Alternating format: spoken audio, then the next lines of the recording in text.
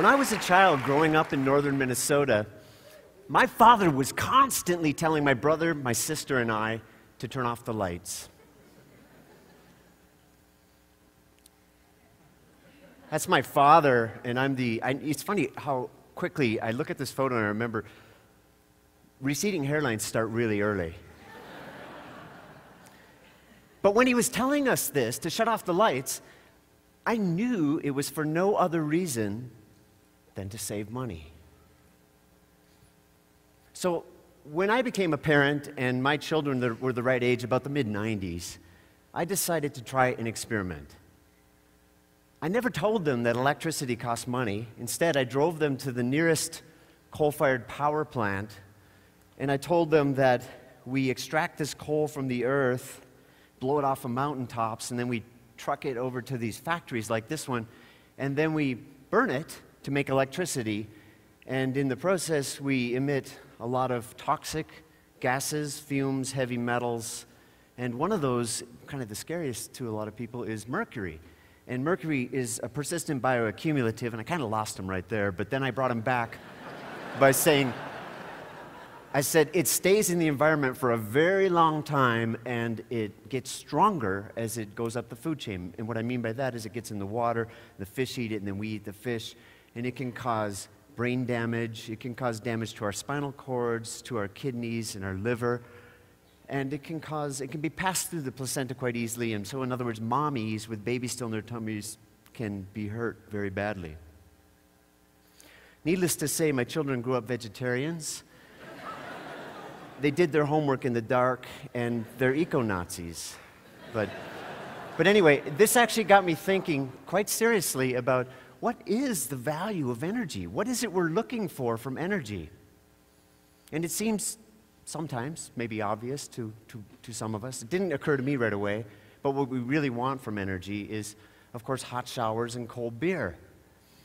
We want, we really desire the services that energy gives us. And, and it's a really cool thing, to, and it's a great place to start with energy because it's the place where, where every unit of energy we don't need or we don't use at the end use, at the cold beer or at the hot shower, we not only save money for my father, but we save three to ten times those savings that we saved at the end use upstream at the power plant. So the emissions are reduced.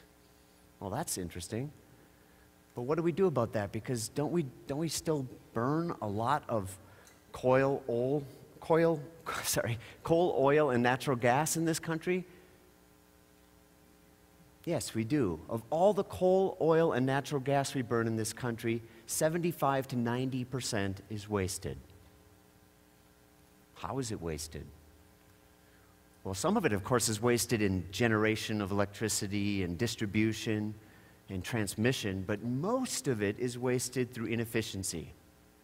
Inefficiency by design, or, or inefficiency by lack of design.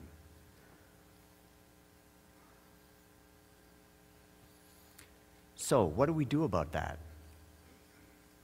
Well, uh, one interesting for the economists in the audience, last year McKinsey did a little study, and they said that if the United States invested $520 billion in efficiency, and for scale, last year the stimulus bill was about 790 billion.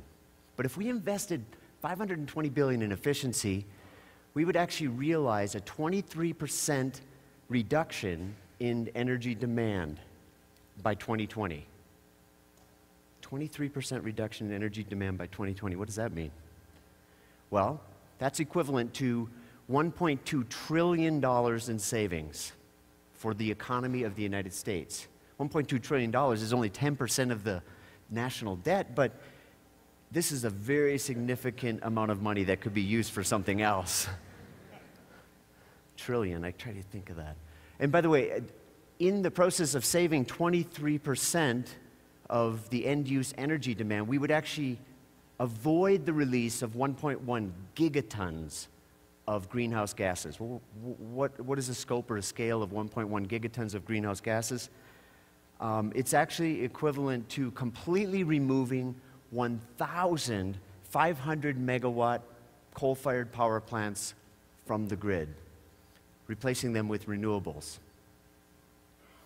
And for scope or scale, right now in this country, we have about 615 coal plants, roughly operating at about 550 megawatts on average. So this, this is significant. And what's really interesting about it is that it doesn't matter what you think about Keeling's now famous Mauna Loa readings of CO2 and whether you believe in the anthropogenic effects of climate change, because we now have positive proof of climate change.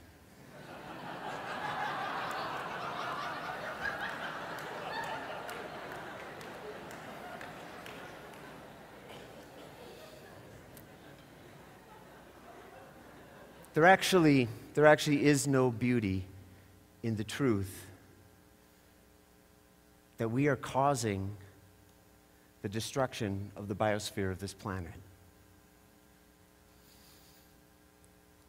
It just appalls me that we put up with this, that we continue to do this when we have efficiency. But I also know that this is a little bit of a downer. so um, I'm always reminded of the uh, Welsh novelist and critic Raymond Williams, who said, To be truly radical is to make hope possible not despair convincing. So, maybe in that spirit, let's look at the typical American home. The typical American home, and this is a Cape Cod home, but um, uses a lot of energy. And actually, I think about $2,000 is the typical energy bill for all energies in, in an average American home. And it varies, of course, by state and climate, but most of the homes built in this country, 85%, were built before the year 2000. And that means that most of them have leaky walls, windows, inefficient furnaces, and cooling systems. Not because they were built poorly at the time, but because the codes have evolved now and changed, and we've learned a lot about building science, so we know how to build houses better. But not only do they leak a lot of stuff out the energy, out the walls and the windows and the roofs and so forth, but we also use a lot of energy in the buildings and homes that we live in. And we use that energy for cooking and cleaning and entertaining and cold beer. But it's too bad we don't have a gas gauge on the side of our house to know how we compare to our neighbors. Somehow to, to determine what, what is the energy efficiency of my home compared to them. Well, we kind of do in this HERS scale. The HERS scale uh, starts out at the top or the highest end at 130 is a typical existing home. And high scores are bad because a low score, a net zero energy house, would be zero. So, where's your house? A code compliant house is the baseline. You built a house last year, probably meets code, I hope. Um, it, would, it would score 100, baseline. Energy Star, you've heard of that for appliances, it also applies to homes, is about 15% better than code. Energy Star's getting a little bit better next year, maybe 30% better than code. And then there's this new thing to the United States called the Passivhaus Standard. It's a German energy design standard. It's very aggressive, and you'd actually score a 15 on this scale, which is 85% better than code without any renewable energy. And so, good design and even good retrofit, or whole house retrofit, or whole building retrofit, should be able to get somebody from 50 to 80% better than code, scoring a 20 to 50 on this scale. Back to our house. If we took the average house in America and somebody said, Oh, I want to be green, I'm going to put a solar panel on the roof. In this example, to offset all of the energy that an average house uses, you'd actually have to buy 104 solar panels. they don't fit on the roof, of course, but it would also cost you $125,000 before rebates. It doesn't seem very appropriate. However, if you did efficiency first, and by the way, if it's an existing home you're thinking about, it's really about sealing up the gaps and cracks on the outside walls. It's about infiltration and exfiltration is more important than insulation. This is really significant. And then, if you're building new, of course, orientation matters, super windows matter, shading of those windows is really important. Putting enough insulation, thermal bridging is, is avoided. Um, you can get a pretty darn efficient house before you bring in a mechanical system to heat or cool it.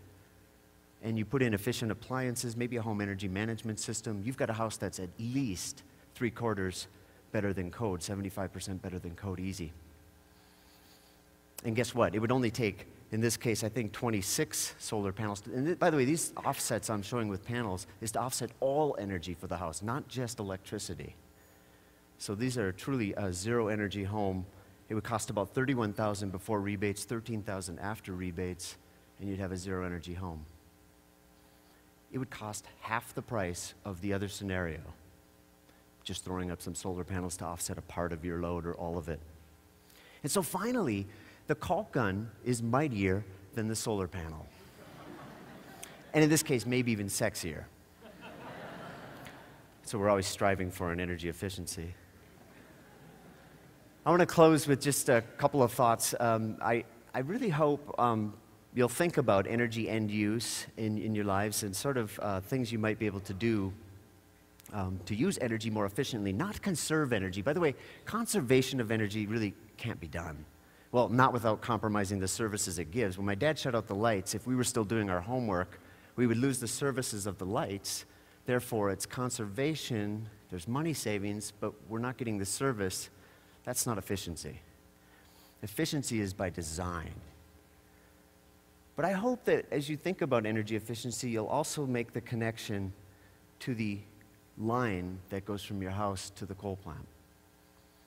And every unit of energy not needed, not used, designed and implemented more efficiently has a three to 10 times savings upstream. And so I ask you, and I leave you with a question What is the value of clean air, of clean water, of clean soil? What is the value of less cancer, less asthma? less strokes. What is the value of energy efficiency to you? Thank you.